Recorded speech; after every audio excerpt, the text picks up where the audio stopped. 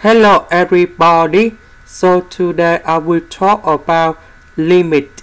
The topic today is about how to find the solution of this one and this one. So now I will show you how to answer. When s approach to number 1, so we put number 1 go in here. Number 1 go in here. You will got about 0 to the power of 0 so in this situation I will show you another way to answer this one. So I will put about y equals to this one. Now I will put about natural log for the both side that's about ln y equals to ln of this one. So we know that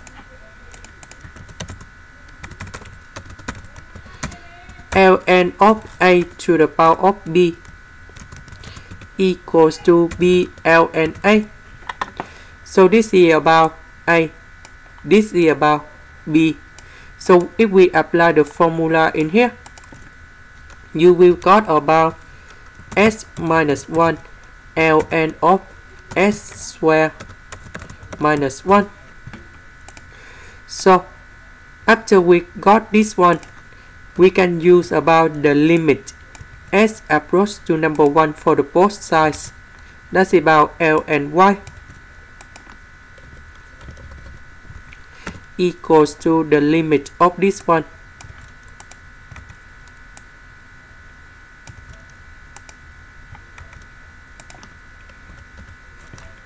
So I will concentrate this one only.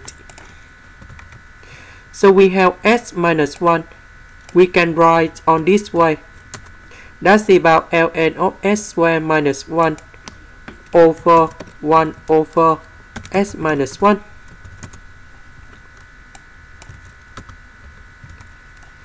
So, because this one divide 1 over s minus 1, they will return back like this. Now, when s approach to number 1, we put number 1 in here. You will got about 0. That means they will go to number 0. ln of number 0, we know that this is about negative infinity. When s approach to number 1, 1 divided to number 0, they will go to positive infinity. So that means we got about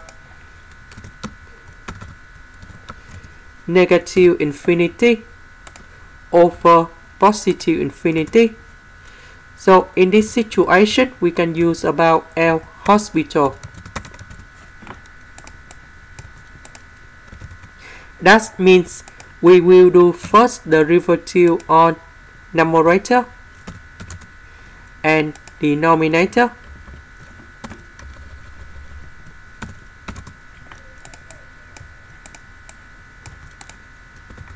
So first the derivative of this one, you will go about 2s over s squared minus 1. This one, we got about negative 1 over s minus 1 to the power of 2. Now, we can put negative s minus 1 square go in here and now that should be like this.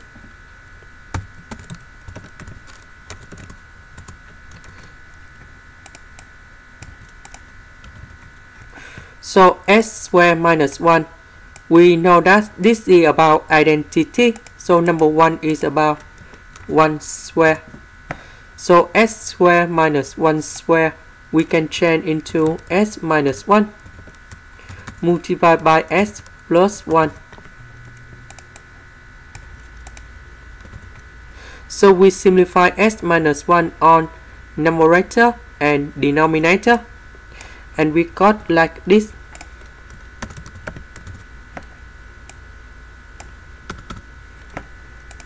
So when s approaches to number 1, we put number 1 go here, here and here. We got the final answer.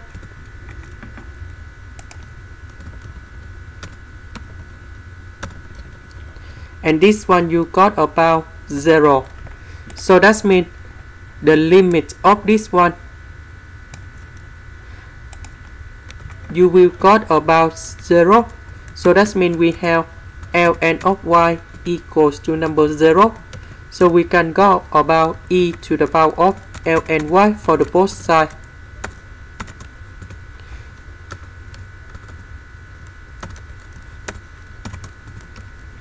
so we see that e to the power of ln y you got about y.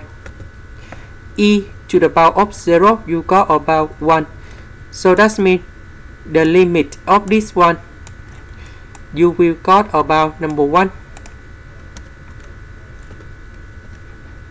And this is the final answer. This one is so easy. So you just put about number zero cone here and here